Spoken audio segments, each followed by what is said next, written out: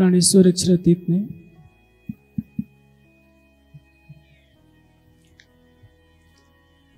हमें जो सनंत की वाणी दी है, कल मैंने आपको बताया था कि सनत का अर्थ होता है मोहर। ये ग्रंथ ही बता रहा है कि इस पर अक्षरातीत की मुहर है, इस पर कोई तर्क वितर्क न करे। जो कहा है, वो आँख मुद कर माने। क्योंकि तर्क से सत्य को जाना जाता है। निरुक्त में कहा गया है, तर्केण एवरिसी लेकिन कुतर्क सत्य से मनुष्य को विचलित कर देता है। और जब मनुष्य में तमोगुण का, रजोगुण की, का प्रादुर्भाव हो जाता है, रजोगुण की अधिकता हो जाती है तो वो अपनी मान्यता को थोपने के लिए कुतर्कों का सहारा लेता है। या जवलिक या जितने महर्षियों के बीच में वार्ता हुई है, कठोपनिषद में नचकेता और यमाचार्य का संवाद है। यमाचार्य कहते हैं कि, हे नचकेता, न ऐसा तर्केण अपानेय। तर्क से ब्रह्म ज्ञान प्राप्त नहीं होता। क्योंकि वो बुद्धि का विषय नहीं है तो प्रश्न यह है कि बुद्धि का प्रयोग न किया जाए, करना चाहिए। लेकिन सत्य को जानने की जिज्ञासा से एक ऐसी अवस्था आती है जिसमें बुद्धि का कोई प्रयोग नहीं होता। बुद्धि न विचेषते आहू तब परमाम गति। किंतु उस अवस्था में पहुँचने के लिए समाधि में डूबना पड़ेगा। हर व्यक्ति समाधिस्थ नहीं हो सकता, लेकिन हर व्यक्ति सत्य का ग्राहक हो सकता है और अपनी अंतरात्मा को सुनने का प्रयास कर सकता है। होता क्या है?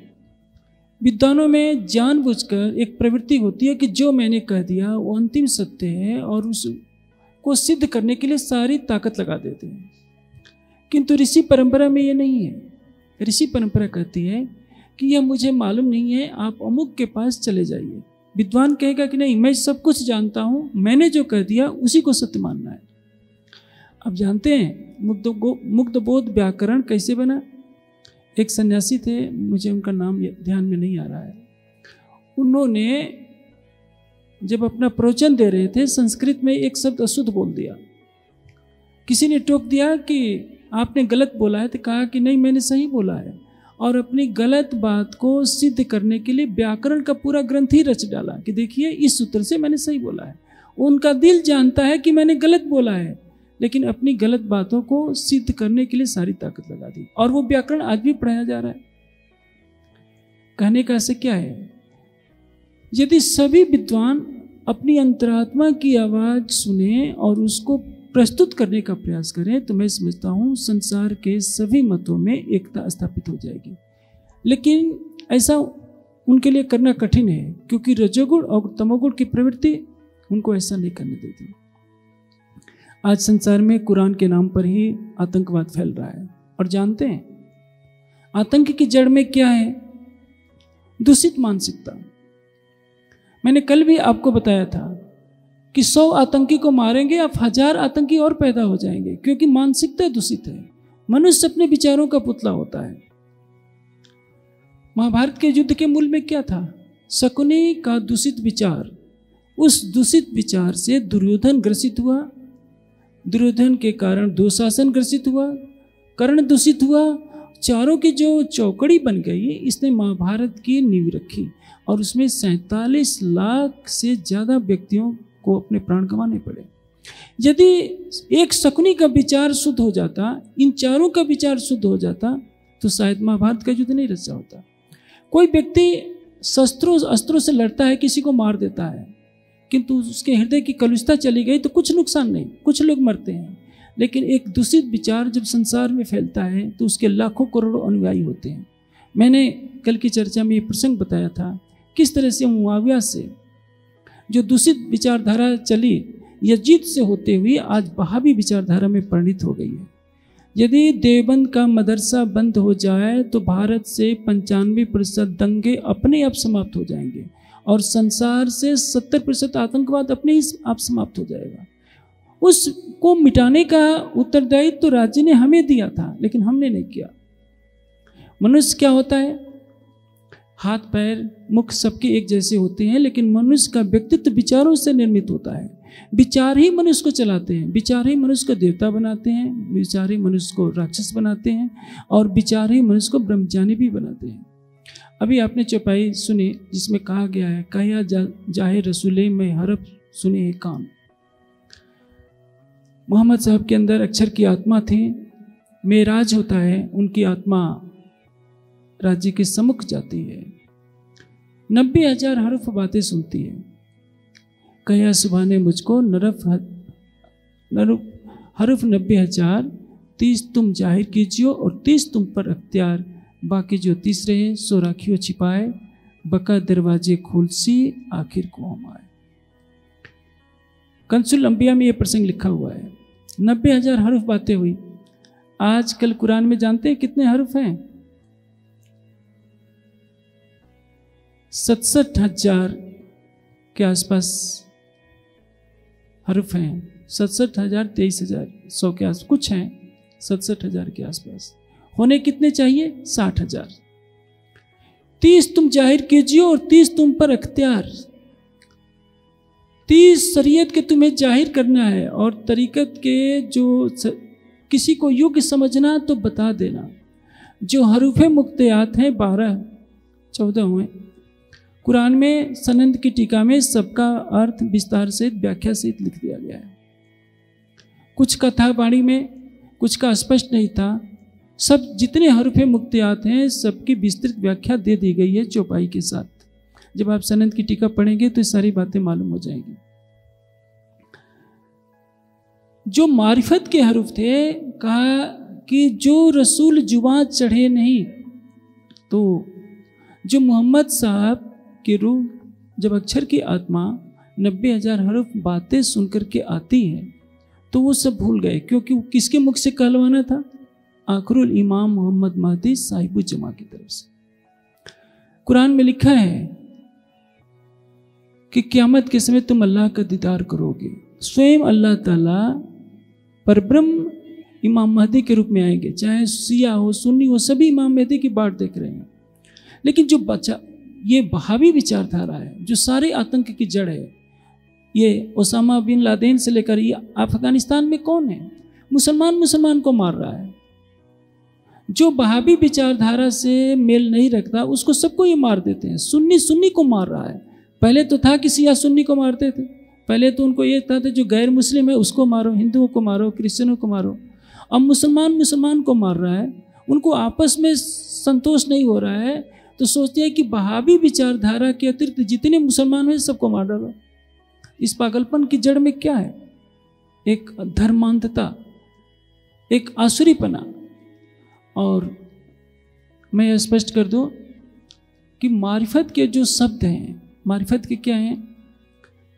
वो है सागर और श्रृंगार, जिसमें नक से सिख तक राज्य की जो शोभा का वर्णन है, मारिफत का ज्ञान है, वो महामती जी के द्वारा मूल स्वरूप ने प्रस्तुत कराना था। इसलिए मोहम्मद साहब को निर्देश नहीं था कि आप संसार में इस रहस्य को उजागर कीजिए।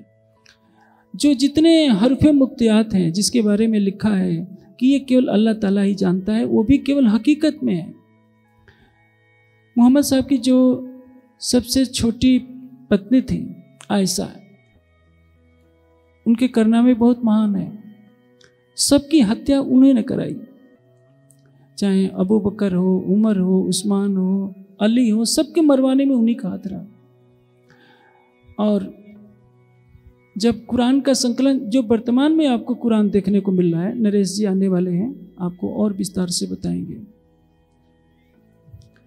जब कुरान का संकलन हो रहा था तो वर्तमान समय में जो कुरान उपलब्ध है, वो उस्मान के द्वारा संकलित है। और उसमें काफ़ी हेरा फेरी है। एक आयत कहेगी कि अल्लाह की खुशी के लिए इन इन जानवरों का बद करो यानी कुर्बानी दो। आगे की आयत में कहा जाएगा कि नहीं अल्लाह तक पशुओं का मांस और रक्त नहीं पहुँचता। दोनों ही कथनों में विरोधाभास हो गया। एक में अल्लाह मियाँ कह रहा है कि ब, ब, इनको बलि चढ़ाओ एक में कह रहा है कि नहीं अल्लाह तक नहीं पहुंचेगा। तो इसका तात्पर्य क्या है? जोड़ी गई है। जब ऐसा से पूछा गया, क्योंकि उसमें कुरान लिखित में नहीं था, जब संकलन किया जा रहा था तो ऐसा कह देती थी कि क्या करें, बकरी खा गई। ताड़ की पत्तियों पर लिखा जाता था, जिसको छिपाना था, छिपा दिया जाता था। आज वही आयतें झगड़े की जड़ बन गई हैं। और हर कोई अपने धर्म ग्रंथ से प्रेम करता है। जब उसका विकृत अर्थ किया जाएगा तो झगड़ा बढ़ेगा।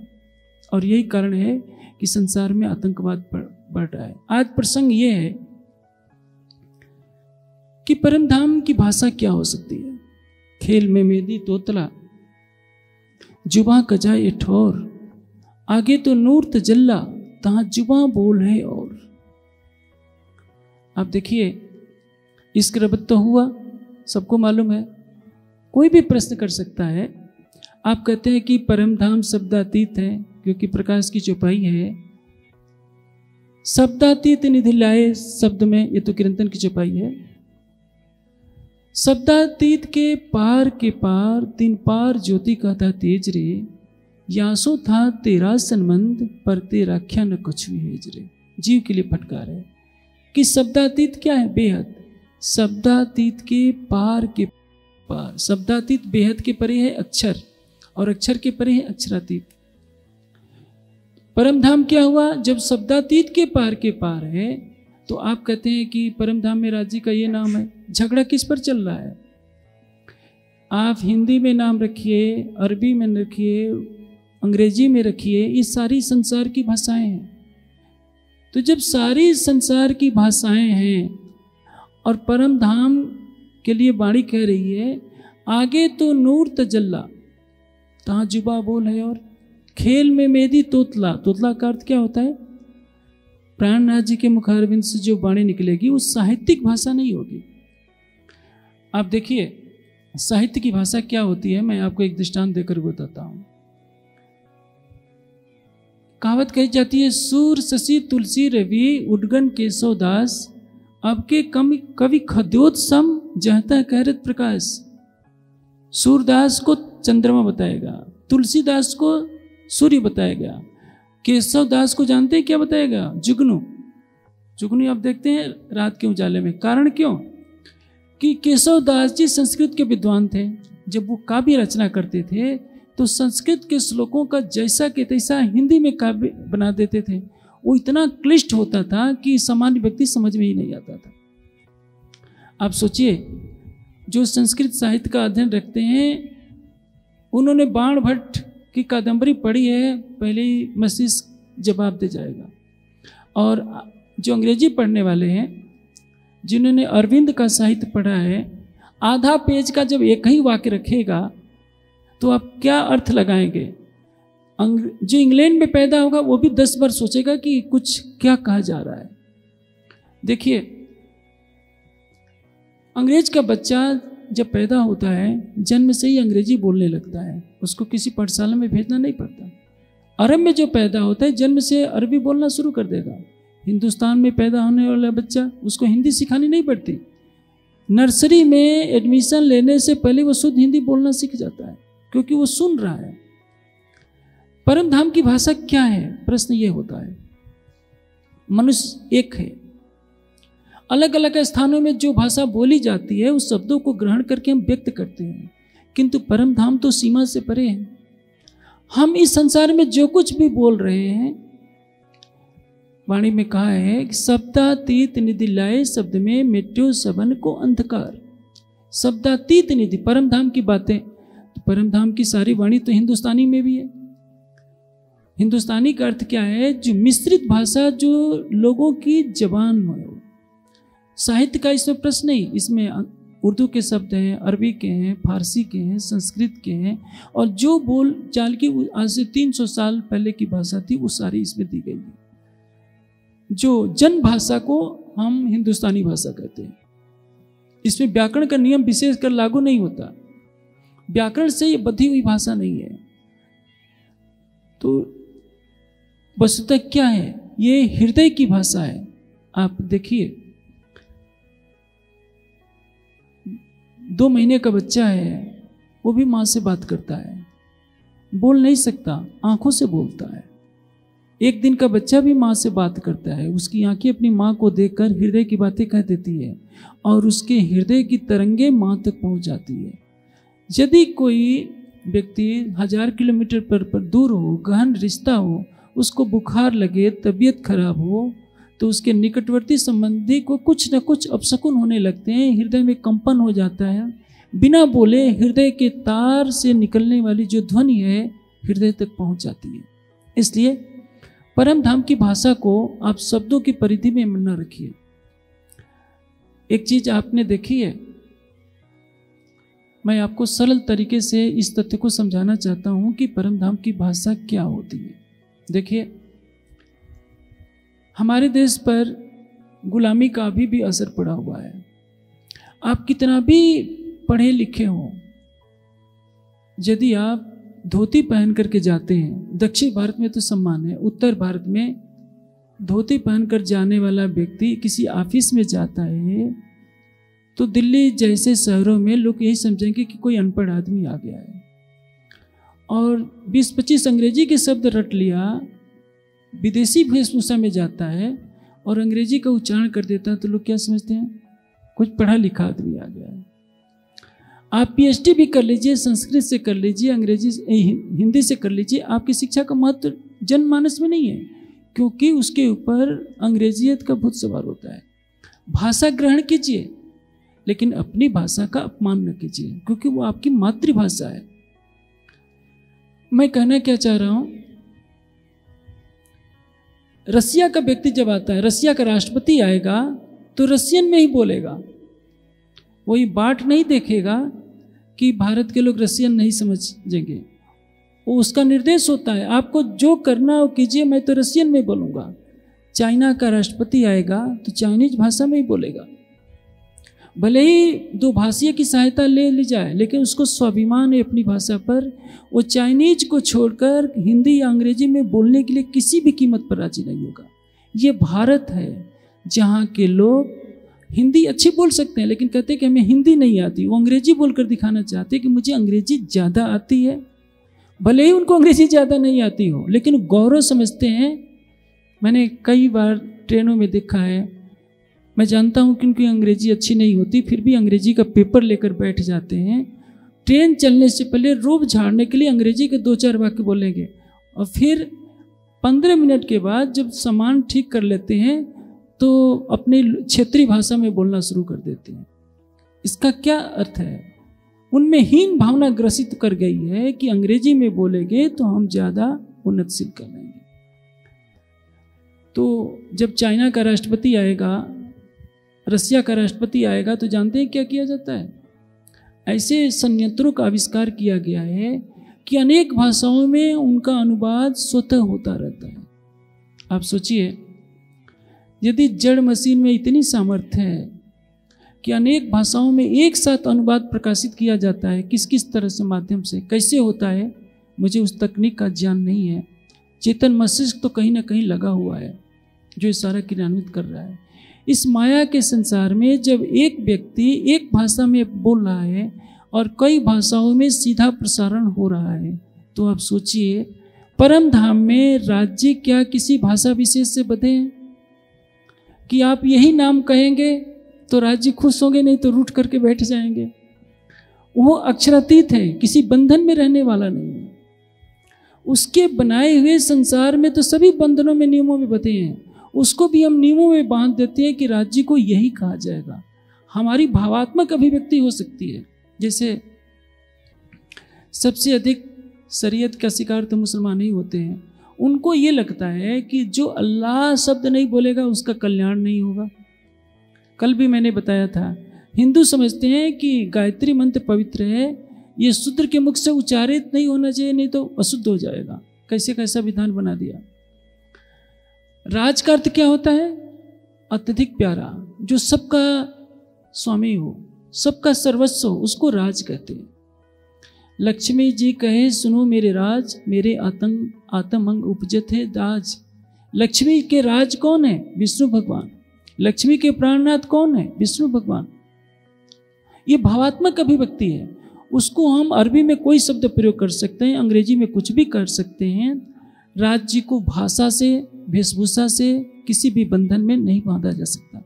इसलिए जहाँ जैसी आवश्यकता हुई राज्य का आवेश महामती जी के धाम हृदय में बैठकर जब मार्फत की वाणी कह रहा है, आप देखिए, अभी आपने किरंतन सुना, जब हक सूरत दिल में चुभे, तब रूह जागी अंग देखो सोए। ऐसा आवत दिल हुक में, यो इसके आत्म खड़ी हो एक एक शब्द पर नज़र देखिए, कहीं अरबी शब्द का प्रयोग हो रहा है, कहीं हिंदुस्तानी भाषा का प्रयोग हो रहा है, कहीं कुछ का प्रयोग हो रहा है। नेत्र शब्द तो संस्कृत का शब्द है। नेत्र हिंदी का शब्द नहीं है। हाँ संस्कृत के शब्द हिंदी में प्रयोग होते हैं अधिकतर। लेकिन सारी भाषाओं के शब्द और भाषा का सौंदर्य देखिए, कोई कितना भी बढ़िया भजन बनाने वाला हो, वो भाव उतने गहरे नहीं हो सकते क्योंकि भजन बनाने वाला फिल्मी दोनों की सहायता लेगा। वाणी अवैसित वाणी है, जैसे अभी गाया जाए, हो मेरी वासना, तुम चलो अगम के पार। कौन कह रहा है? महामती की आत्मा कह रही है। अब इसके समानार्थक कोई आप भजन बनाएँगे तो नहीं बन पाएगा। वो भाव नहीं आ सकते, क्योंकि कहने वाला कौन है? राज्य का वेश। श्रृंगार में एक प्रकरण ही है। आशिक मासुक के जवाब रूहों रे मैं रे तुम्हारा आशिक, मैं इश्क सदा तुम्हें चाहूँ अब ये कौन कर रहा है? राज़ी कर रहे हैं। अब इसके समानार्थक कोई भजन बनाएँगे तो यदि आप उस मारिफत की अवस्था में पहुँच गए हैं, राज्य का आदेश होगा, तभी आप भजन में वैसा भाव भर सकते हैं। अन्यथा नहीं भरा जाएगा, बिना उनके आदेश के। कहने का आशय क्या है? जब सुंदर साथ संसार के अन्य ग्रंथों का अध्ययन नहीं किया होता है, सीधे तारतम ले लेता है तो वाणी की महिमा को नहीं जान पाता। मैंने कल भी कहा था, आज भी कह रहा हूँ। कि सनंद की माता को कौन समझेगा जो चारों वेद पढ़ चुका होगा, कुरान पढ़ चुका होगा, बाइबल पढ़ चुका होगा? वो समझेगा कि सनंद ग्रंथ तो पूरे संसार को एक मंच पर लाने के लिए अनुपम ज्ञान वो महत्ता समझेगा कि कुरान के जिन रहस्यों को कोई आज तक जान नहीं पाया, मोहम्मद साहब को आदेश हो गया कि अभी मौन रहिए जब क्यामत का समय आएगा, स्वयं पर ब्रह्म इमाम के रूप में आएँगे तो इसको बोलेंगे। आपको नहीं बोलना है। तो आप सोचिए, वो राज्य ने हमें सनंद के रूप में जान दिया। और हम सुंदर साथ हैं, हमने एक छोटा सा संप्रदाय बना लिया। केवल नाम के पीछे लड़ते हैं। हमारा ये नाम है, वो कहेंगे कि तुम्हारा नाम छोटा है। अरे, ये तो वैष्णव का काम है, जिनको बेचारों को ज्ञान नहीं मिला। शिव शालिग्राम की पूजा करते करते रामचरित मानस पढ़ते, भागवत पढ़ते पढ़ते जिनकी उम्र गुजर गई, जिनको परम धाम का ज्ञान नहीं मिला, उनको ये लड़ाई शोभा देती है सुंदर साथ के लिए नहीं। सुंदर साथ को तो परम धाम का ज्ञान मिला है। सारे संसार को एक सचतानंद परब्रह्म अक्षरातीत की पहचान देने के लिए। मत मतांतरों की बातों को आत्मसात करने के लिए हम बाध्य नहीं हैं। हम केवल बाध्य हैं परम धाम के शाश्वत सत्य को संसार में फैलाने के लिए। इसलिए परम धाम की जो भाषा है, इसके रब्द हुआ तो किस भाषा में हुआ, क्या आप उत्तर दे सकते हैं? परम धाम की भाषा शब्दातीत भाषा है। जब आप, मैं आपको एक दृष्टांत दे रहा हूँ। मेरे पास केवल पाँच मिनट का समय है, और आप जानते हैं, मैं समय का उल्लंघन नहीं करता। इसलिए मैं जल्दी जल्दी कह देता हूँ। कल मैं कोशिश कर सकता हूँ। जब सूक्ष्म शरीरधारी, मान लीजिए, एक अंग्रेज़ी बोलने वाला है, दक्षिण भारतीय, सिद्ध पुरुष हो गया, और एक उत्तर भारतीय है, जिसने संस्कृत में बोला है, जीवन भर हिंदी नहीं बोल, ये दक्षिण की तमिल भाषा नहीं बोला है, और तमिलनाडु में पैदा होने वाला व्यक्ति जिसने कभी हिंदी नहीं बोला है, दोनों सिद्ध पुरुष हो जाए। दोनों शरीर छोड़कर आकाश में मिले तो किस भाषा में बोलेंगे? एक को हिंदी नहीं आ, नहीं आएगी और एक को तमिल नहीं आएगी। तो क्या आप आकाश में मौन रहेंगे? नहीं। वो संकल्प मात्र से दूसरे के हृदय की सारी बातों को जान जाएँगे। जैसे माँ अपने दो महीने के बच्चे के हृदय की सारी बातों को जानती है, आँखों से देख कर जान जाती है कि मेरा लाडला भूखा है। और बच्चा भी जानता है कि माँ को खुश कैसे करना है कि मुझे दूध पिलाओ। वो कुछ नहीं बोलेगा, आँखों की तरफ़ देखेगा, रोने की आवाज़ बदल देगा, रोना तो जानता है। यदि रो भी नहीं सकता तो आँखों की दृष्टि बताती है कि बच्चा क्या चाहता है। तो आप सोचिए, माया के संसार में जब ऐसा होता है तो इस किरबत के लिए राज्य बधे हुए नहीं है कि हिंदी भाषा में बात करेंगे, संस्कृत में बात करेंगे। संसार की सारी भाषाएँ भी परम धाम में हैं और कोई भी भाषा नहीं है। वहाँ आत्मा की भाषा है। संकल्प मात्र से जो कुछ जानना चाहेंगे, सब कुछ आपको विदित होगा। मैं आपको एक सच्ची घटना बता देता हूँ, उससे बात और सरल हो जाएगी। एक बार रामकृष्ण परमहंस किसी ट्रेन में जा रहे थे। वैसे ये बात किताबों में बहुत कम मिलती है। मैंने एक व्यक्ति के मुख से सुना है। मैं प्रत्यक्षदर्शी तो नहीं हूँ, लेकिन उनकी बात सच लगती है। दो अंग्रेज़ आपस में लड़ गए। किसी बात पर ट्रेन के डिब्बे में रामकृष्ण परमहंस भी बैठे थे। अब अंग्रेज़ों के तो जो बात होती है, सीधे कोर्ट में पहुँच जाते हैं। जज ने पूछा था कि कोई गवाह था जो तुम कह रहे हो कि ये बात है, ये बात है। तो रामकृष्ण परमहंस को लाया गया। रामकृष्ण परमहंस कहते हैं कि मैं ये नहीं बता सकता कि क्या, किस बात पर लड़ रहे थे। लेकिन मैं ये बता सकता हूँ कि क्या कह रहे थे, और उन्होंने एक नहीं, कई भाषाओं में बोल दिया। आप सोचिए, रामकृष्ण परमहंस तो पांचवी क्लास भी नहीं पढ़े थे। कैसे जान गए कि दो अंग्रेज़ क्या बातें कर रहे हैं? उस, वो योगी थे। ये घटना परमहंस महाराज श्री रामतम दास जी के साथ भी हुई जब मुजाहिदपुर में एक जन्मना ब्राह्मण ने उनको कट शब्द बोल दिए और उन पर चुनौती दी कि तुम्हें कुछ नहीं आता। तो महाराज जी ने अनेक वेद मंत्रों का उच्चारण करके उसको शर्मिंदा कर दिया था। और वो ब्राह्मण नहीं थे, चमेल सिंह थे, थी ब्रह्मात्मा, संध्या कर रही थी परम धाम की ब्रह्मात्मा। और महाराज जी ने पूछा कि भाई क्या कर रहे थे? तो आप जानते हैं, जो वेद पढ़ा होता है, थोड़ा ज्ञान का अंग तो होता ही है। कहा कि बाबा जी, आपको क्या पता मैं क्या कर रहा हूँ? उन्होंने कहा कि अच्छा तुम जो मंत्र पाठ कर रहे हो तुम पढ़ करके बोलो तो कहा कि तुम्हें आता है क्या? फिर जब उन्होंने बोला, चरणों में शीश झुका दिया और वही चमेल सिंह है जब ध्यान में बैठे, दरवाज़ा बंद करके तो कई दिन बैठे रह गए और वहीं से बैठे बैठे देख रहे थे, पन्ना जी में क्या हो रहा है, सूरत में क्या हो रहा है जामनगर में क्या हो रहा है। महाराज जी ने दरवाज़ा खोला, गले मिले और उन्हें तन छोड़ दिया। मेरे कहने का मतलब क्या है? जब आप ध्यान में अवस्था में डूबते हैं, शरीर मन बुद्धि से परे होते हैं तो जो बातें आपको मालूम नहीं, वो सब कुछ मालूम हो जाएगी। जो आँखों से देखा नहीं, कहीं से बैठे कहीं भी देख सकते हैं। मेरे, ये तो चमत्कार की बातें हैं, इसमें नहीं फंसना चाहिए। कहने का इससे क्या है? जो परम धाम की भाषा है, उसको शब्दातीत भाषा कहिए, आत्मिक भाषा कहिए। और जो उस अवस्था में पहुँच जाता है वो संसार की सभी भाषाओं को जान सकता है। अभी समय इजाज़त नहीं दे रहा है। मैं संक्षेप में आज का सार यही बताता हूँ कि जो विवाद चला, चलता है कि परम धाम में क्या नाम है? जो ये इंद्रावती नाम है राज्य नाम है श्यामा जी नाम है, सब कुछ है, यहाँ की भाषा के अनुकूल है, यहाँ की भावनाओं के अनुकूल है। यहाँ जो कुछ हम दिनचर्या करते हैं उसी के आधार पर परम धाम की सारी लीला वर्णित की गई है। अर्थात, अन्यथा वो तो शब्दातीत लीला है राज्य पान नहीं खाते, लेकिन भोग में क्या आप पढ़ते हैं? जब भी भोग होगा, पानों की बीड़ा का प्रसंग आएगा। श्री आज उतारे बस्तर, पहनी पिछारी कमर पर। तो उस समय, आज से तीन सौ वर्ष पहले परंपरा थी, भोजन करते समय लोग ऊपर का भारी भरकम वस्त्र उतार कर कुछ लपेट लिया करते थे।